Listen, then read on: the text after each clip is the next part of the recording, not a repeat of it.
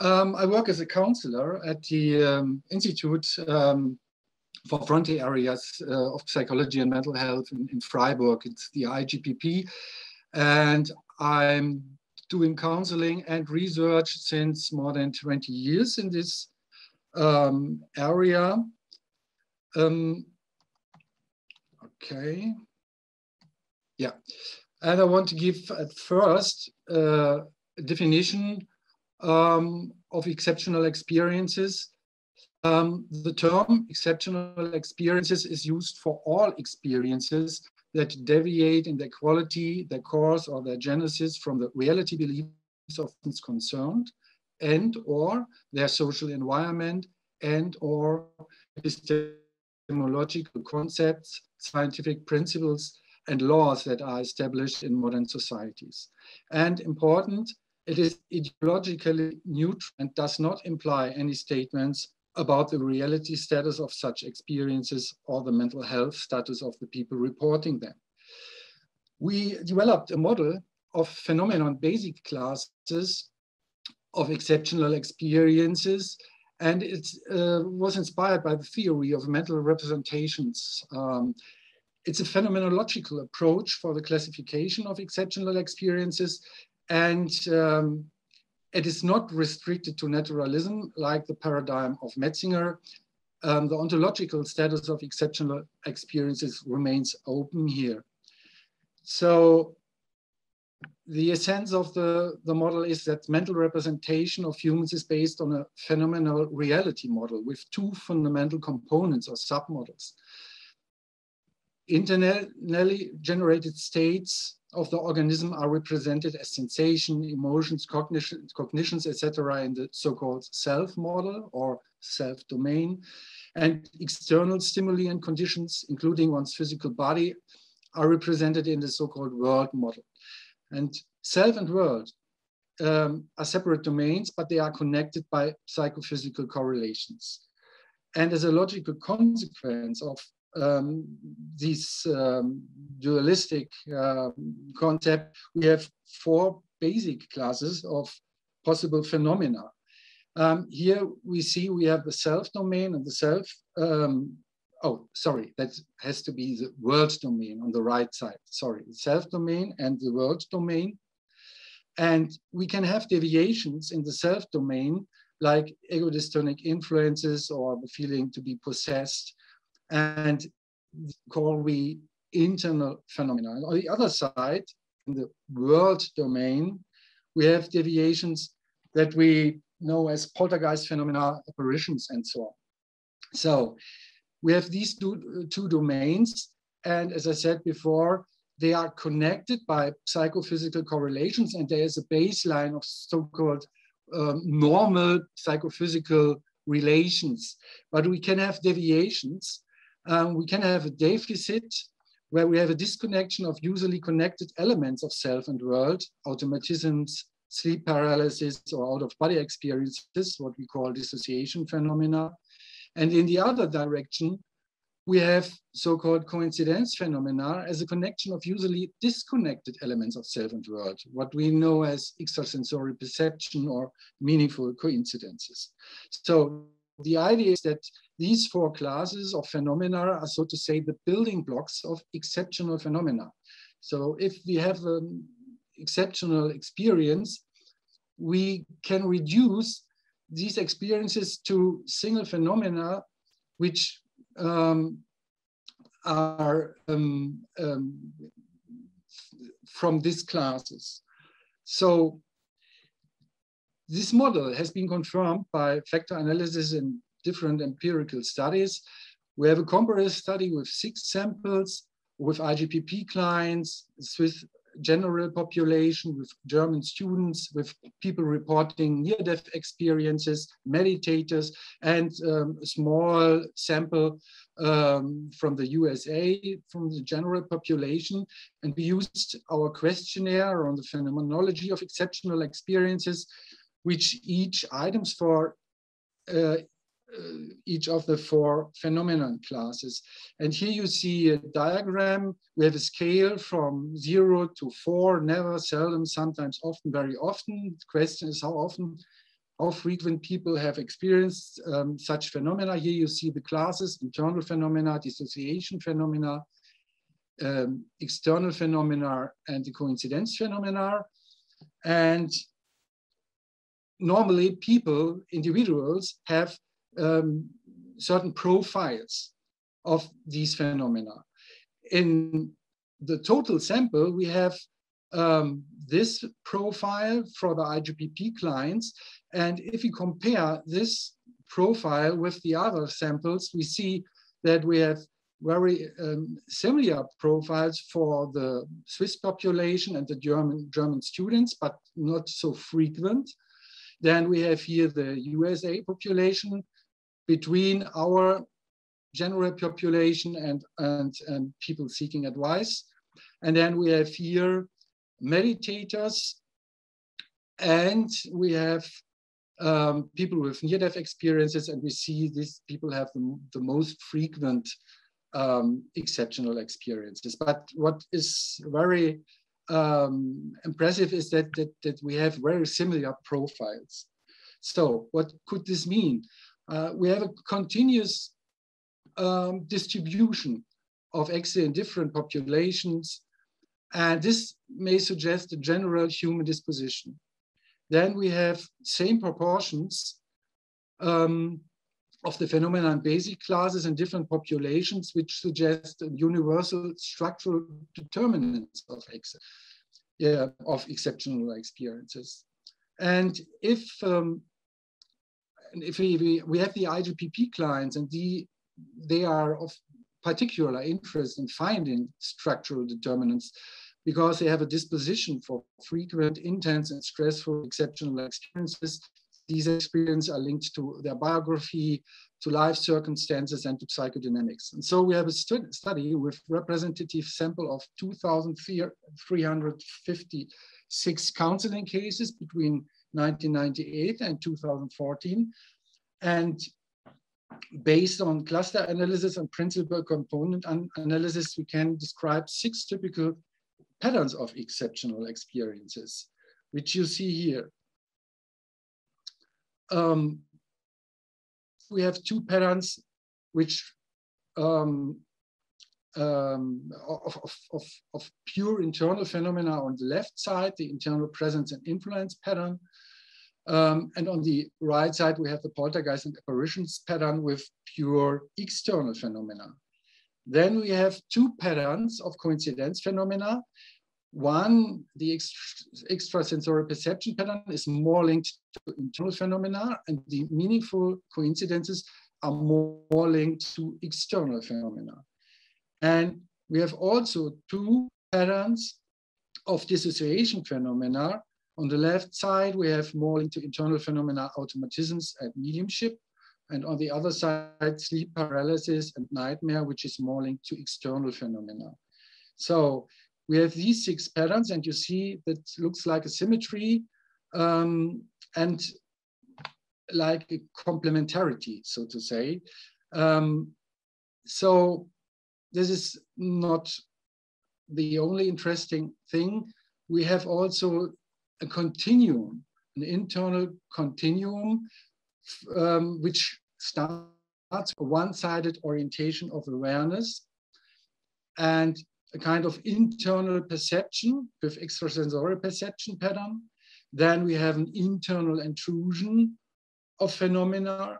And then we have an internal occupation in the pattern of automatism and mediumship. And this leads sometimes to a loss of behavior control with automatisms and things like that. So um, if you look once again for these patterns, we see that the extrasensory perceptions, coincidences of internal and external states like telepathy, clairvoyance, and precognition are interpreted as an extrasensory receiving of information. And this is a subtle kind of bonding, um, of an internal bonding to external events, so to say.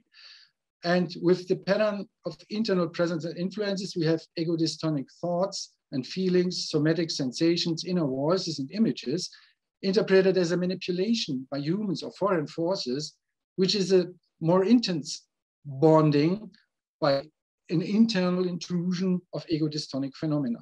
And in the following pattern with mediumship and automatism, we have an ego dystonic behavior uh, with movement, automatic writing, channeling, and this is maybe interpreted. Um,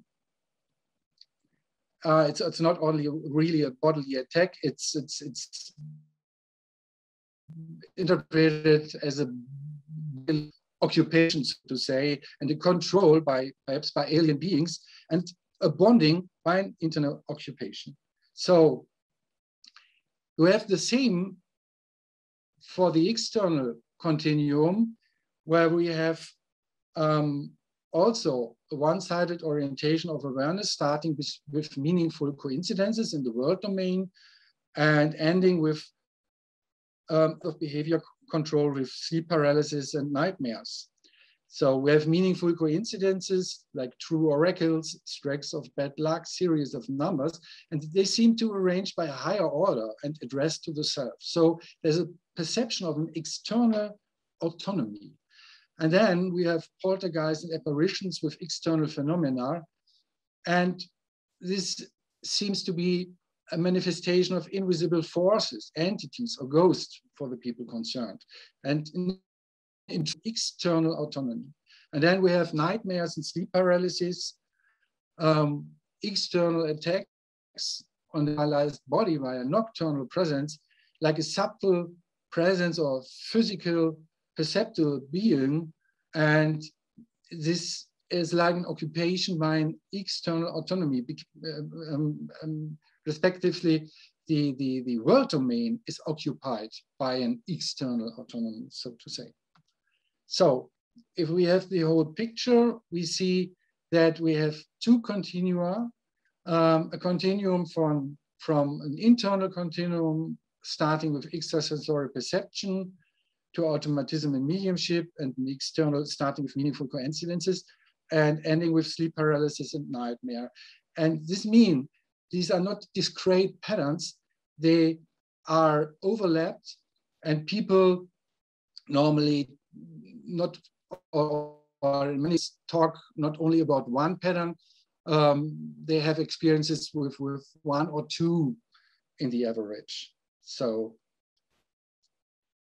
and here you once again see autonomy decreases and bonding increases in the self model on the internal continuum and on the world, in the world domain, bonding increases or reliability, so to say, of the physical world and autonomy increases. So what kind of determinants may be responsible for, for these um, ExE patterns? Um, we have done a cluster analysis on the basis of the six uh, patterns, and then we find significant differences between six client types regarding social bonding. So social bonding is um, is, is, is really um, um, very very significant. Um, there's a really significant correlation with these patterns um, in difference um, to, to gender, which is not significant, or religion, or education, for example. So, and very most strongly, differentiation is by close partnership. So we have normally a general difference between our IGPP clients and the general population. In our IGPP sample, um, only 53% of um, the clients are in a close partnership when they contact our institute. And if you have, for example, the Switzerland, um, the, the general population, you have 20, uh, you have 72% of the adults up to 60 years in, in close partnerships. So um, here in the picture, you see the um, distribution of, of, of, of, the, the close partnership on the six um, client types. Um, and you see it starts um, uh, with the coincidence pattern um, near at the average in our total sample. And then we have a decrease on the left side to 44%, and we have an increase on the right side to poltergeist and apparitions type to 61%. And we have a, a, a, decrease on the right side from 61 to, uh, to 38% um, close partnership. But on the other side, we have um, suddenly an increase from 44% to 65. So this is very interesting and this is all um, highly significant.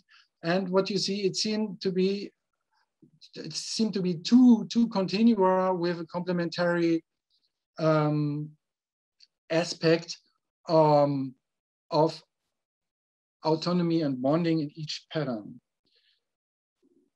So, and then if, if you see these um, differences, um, it's, it's, it's, it's very um, near to, to, um, to, to, to think at the attachment um, theory and attachment research.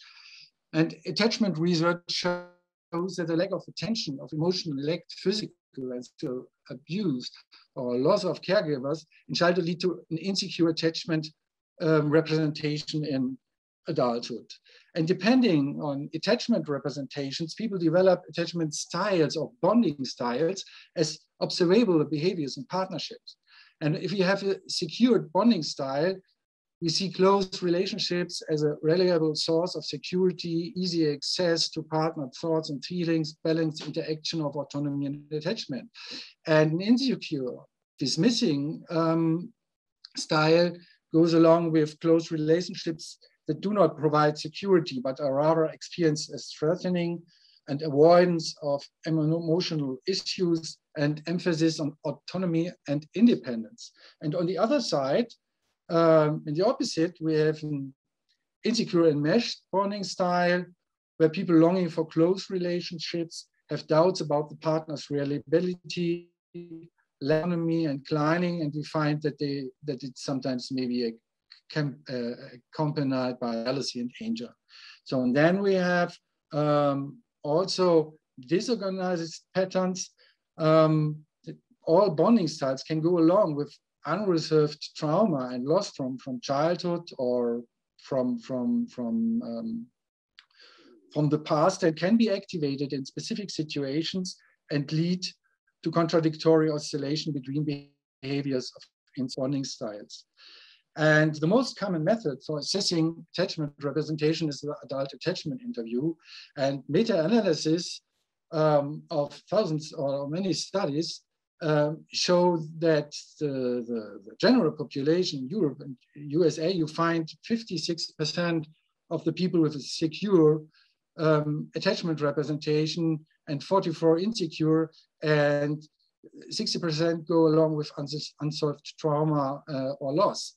And in clinical samples, you find only 27% with secure attachment representations, 73% are insecure, and 43 goes along with unsolved trauma and loss. That what you see is an early violation, that, an early violation of bonding um, as the largest known risk factor for development of, of uh, mental disorders.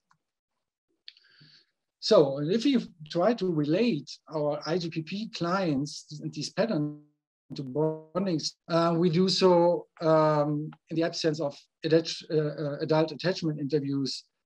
Um, and we have to derive them um, from biographical information, life circumstances at the time of counseling. Um, I can give you now a short uh, impression, so to say, for details and case examples. Um, please um, see the coming publication in the British Psychological Society Psychotherapy section review. Um, um, there, there you'll find many, many details.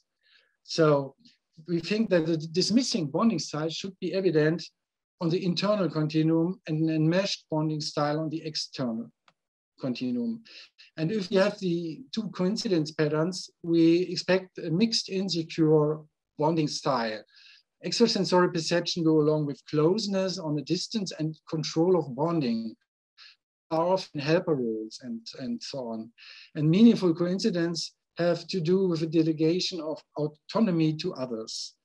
Internal presence and influence, we found social withdrawal, clients who have always been careful keep to uh, keep a distance to other, uh, to keep a distance um, and, and tend to avoid close relationships, they have an encounter before the counseling with a person which leads to extremely negative feelings and in cases of poltergeists and apparitions, shows social systems, social systems with a strong bonding component um, um, are usually involved. As a rule, it, it's possible to identify a family member whose striving for autonomy is suppressed.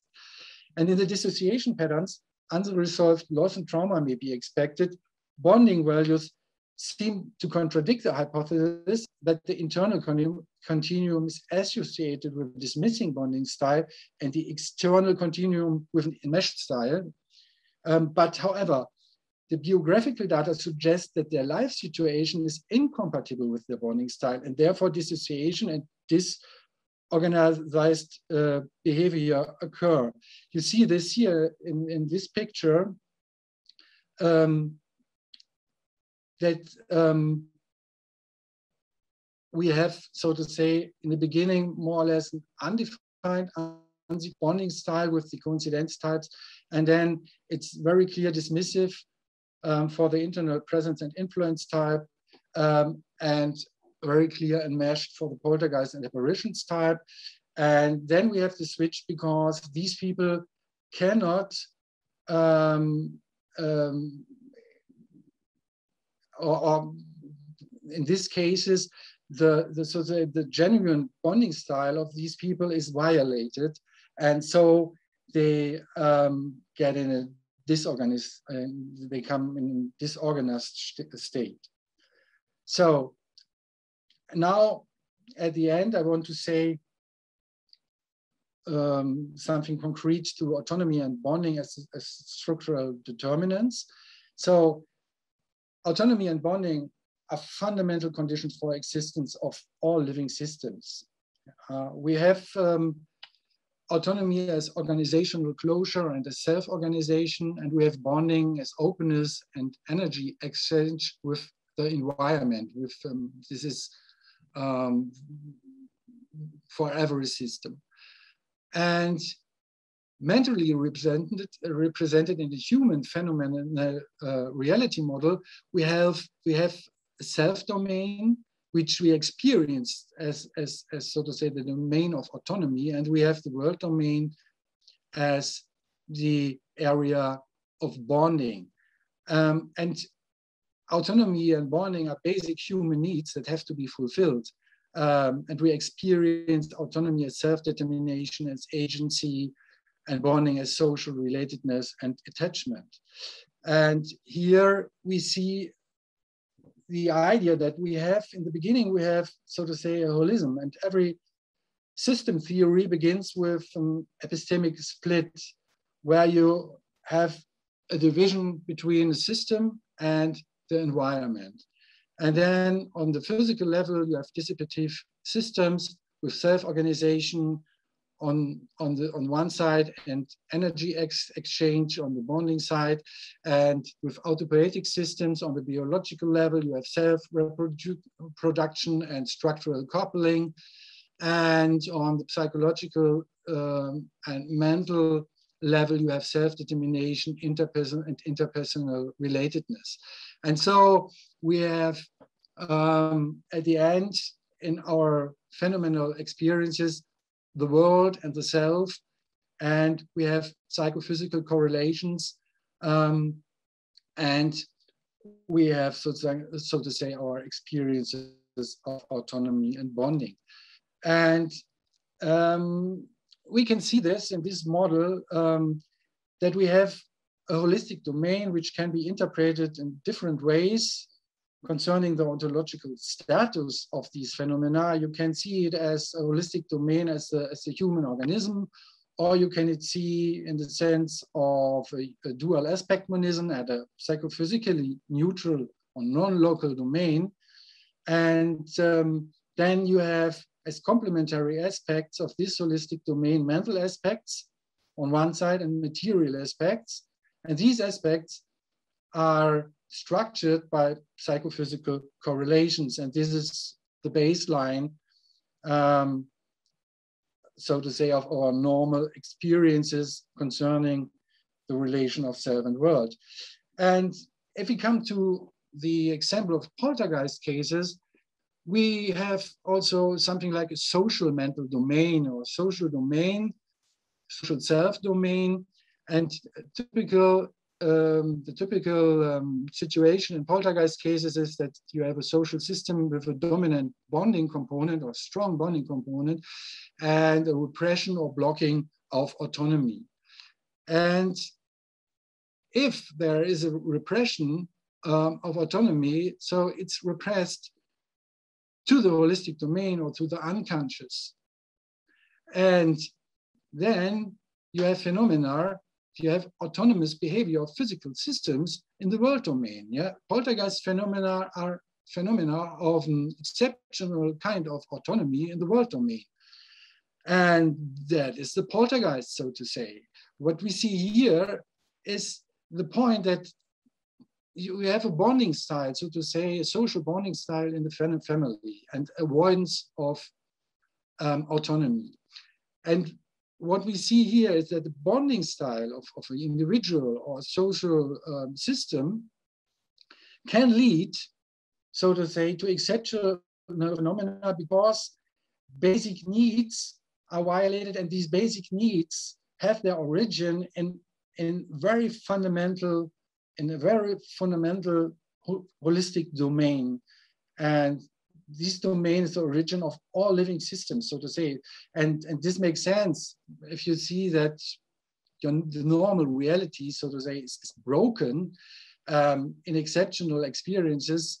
Um, so we have to expect that we have to do with fundamental principles and um, and uh, which which are responsible for these symmetry breaks. So this is only a very short um, description of the whole topic. Um, let me give some conclusions at the end. The approach presented here belongs in the context of a still developing clinical parapsychology that cares for people with stressful ExE. So exceptional experiences can be understood as self-organized processes that at the level of an organismic and psychophysical wholeness respond to and strive to balance a pronounced mismatch of autonomy and bonding. If counseling helps clients recognize and understand that recurrent and distressing exceptional experiences are rooted in their life history and bonding style, it can serve as a bridge and motivate them to engage in psychotherapy. Therefore, people who report persistently distressing exceptional experiences need to be supported to adequately perceive, met, and protect their basic needs. In particular, positive relatedness experiences in counseling can therapy and, and therapy can promote the integration and balance of autonomy and bonding in clients' daily lives, which should reduce their disposition to stress, stressful, exceptional experiences in the long term. So now I'm at the end. Here's um, the literature, and we can have questions and discussions. Wolfgang, thank you so much. That I mean, I have to say first, you are a master of diagrams and and graphs. I, I mean, every it, it, really you express yourself so well through those diagrams, and it makes some of these topics so clear. Um, you know, there are uh, normally I would say, oh yes, so let's talk like this, but you know, I might ask you to bring your diagrams back up because they're just so interesting the way you put the, you put the different um, aspects in place. So you're talking about stressful, exceptional mm-hmm. experiences, but people were wondering, what about purposeful, exceptional experiences? Like, for example, someone who trains to be a medium versus someone who has not trained and starts having mediumship experiences. Can you talk a little bit about that? Um, yeah, at first I have to say it's um, clear that people who, who, um, contact our counseling service, um, they need help and they are burdened by their experiences. And um, but uh, but we have people, um, also some people with um, mediumistic um, abilities, but in, in, in many cases, uh, I observe that these people, they, they come not alone to our counseling. they have other people who um, are on their side and they, um, so they have um, a need for bonding to people to serve them. um, and often they have problems to do things on their own or alone because he said, oh, there are very strange energies. Um, I cannot go out of home or things like that. So, so in our context, I see that that that that, that also these people who say from themselves that they have um, special abilities and, and, things like that, that they have also special bonding style, so to say, and um, they get much influence on their social environment in their role at a medium.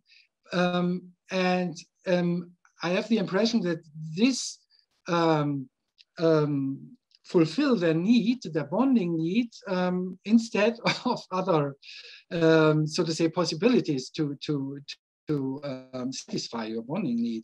So I cannot talk about the general population and and and all all, all mediums. I can can only um, talk about my personal experiences and, and impressions in the context of the IGPP counseling. But um, in many cases, um, I, I see very different and, and, and, and specific um, kinds of, of, of bonding styles, so to say. So uh, sometimes within families or even friendships, uh, someone, one person may start to experience, have these sorts of experience, or even develop them on their own, but the family members or their friends may not understand. Mm-hmm. And so, might that be a situation where they would come with someone else, not for their own peace, but for the peace of the other person that's with them? Yes, this is also a problem. Sometimes people have not problems with their experiences by themselves, they have a problem because um, their social environment cannot cope with, with, with their experiences. So and this is also a, a topic of, of um, different cultures and, and so on. If, if, we have people from, from Turkish people or people from other cultures, they came to Germany and they have their experiences, normally they have explanations in their culture and these explanations um, are not function here, so to say. And um, um, so, so these are, this is also um, um, a problem, yeah. But what I have to say is not all people who have exceptional experiences have to um, have an, an, unsecure bonding style or, or, or um, psychological problems. But if you see um, the typical cases of crisis telepathy and, and, um, and, and spontaneous exceptional experience you see also to do with autonomy and bonding.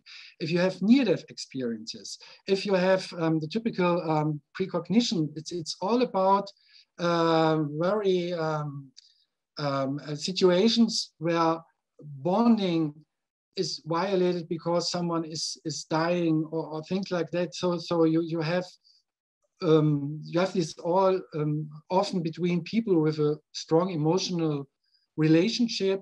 And if something happened to, to one of the two, the other has, so to say, an extrasensory perception of this event. So you have here, you have an external um, factor um, which leads to this phenomena, but it, it has also to do a violation of bonding, so to say, and then you have a phenomenon.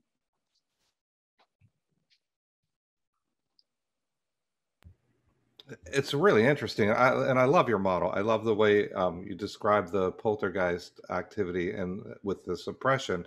Um, but do you do you see? You know, many people have these experiences of abductions or encounters. Do you see this fitting into your model as well? Um, then we have to to um, make a difference between the phenomena which are experienced and so to say the uh, belief systems or, or, or, the explanations or interpretations.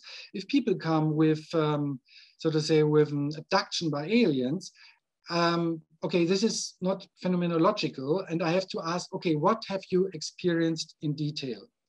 And then what they what they what they what they told mostly is that they have an impression of out of body experiences, so to say, and then they have um, a blackout, um, and then so so you you have something like, like a dissociation phenomena, um, and then people try to explain and then they have read books about aliens and things like that. And so they have an explanation for their experience. It's the same with ghosts. If people come, uh, we have a ghost in our house, I, I, don't know nothing what they have experienced. And I have to ask, okay, um, what, um, what does the ghost uh, do? Or what, what, um, what, what, what have you perceived? And then they say, oh, there was um, um, a change in the temperature, and then we hear knockings in, in, in the walls, and then we have these, uh, this and that, and then we have, so to say, the phenomena, and the ghost is the explanation as, as a causal explanation for these um, inexplicable phenomena. And, and we try to get, uh, to, to get away from, from, from the explanations and come to this is phenomenological ap approach come to the phenomena and and and the interpretation is so to say it's possible to have different interpretations. And in our counseling we are ideologically ideologically neutral and and and we accept the belief systems of the people but but we want to know what they have experienced at first. Um, and if their belief systems are not very comfortable or um, or not helpful, then we, we try to give alternative explanations or theories or concepts. I'm getting a number of comments saying how much they enjoy the presentation and how much they enjoy the model and how, how really re they can really relate to it. Uh, we have one question uh, that I'm going to just read it. Have you considered a measure of locus of control as a component um, regarding bonding styles as you define dismissive? Enmeshed and contrast between internal and external presence of PK? Mm-hmm. Um, not yet, but um, this is, so to say, a new step in our research um, that, that we found these really um, significant um, um, correlations with bonding styles. And, and we want to, to have adult attachment interviews with all clients of with all patterns. And also we, yeah, we will look to other correlates like locus of control and things like that. But this, this is so to say um, our future um, program, uh, program for the future. Well, this has been really wonderful, and I have to say that there are uh, uh, a number of people referring back to a presentation we had last night, which was an investigation of an ostensible poltergeist uh, that was done. I don't know if you've seen the recording of that presentation, but um, if you have, it'd be wonderful to hear your thoughts on it. Yeah. Um, I'm in contact with Jerry Solfvin and we talked about his, his model before and um, last night it was two o'clock in the morning and um, but I will will um, uh, look the, the video but but I but I know his concept and and, and the model because we talked about it. Yeah. Well, that's wonderful. Yes, uh, I think there's a lot of a lot of interest in in trying to determine how to address these sorts of unconscious and just spontaneous experiences that occur, and trying to help people through them. You've you've done an amazing job of presenting this today. It's been very interesting.